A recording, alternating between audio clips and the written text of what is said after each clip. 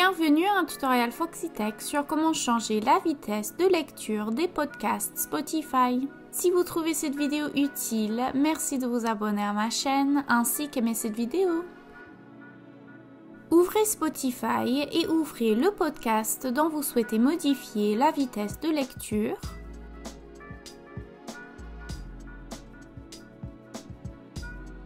Une fois sur la page du podcast, appuyez sur le Une fois en bas à gauche.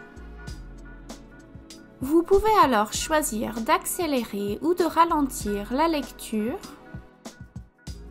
Deux fois sera le double de la vitesse normale et trois fois sera le triple de la vitesse et ainsi de suite. Pour ralentir la lecture, vous pouvez choisir 0,8 fois ou 0,5 fois.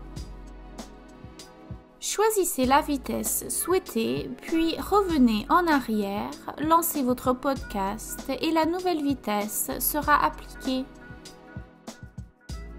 Et cela met un terme à ce tutoriel. Merci d'aimer la vidéo si vous l'avez trouvé utile et de vous abonner à Foxytech pour plus de conseils et astuces Spotify.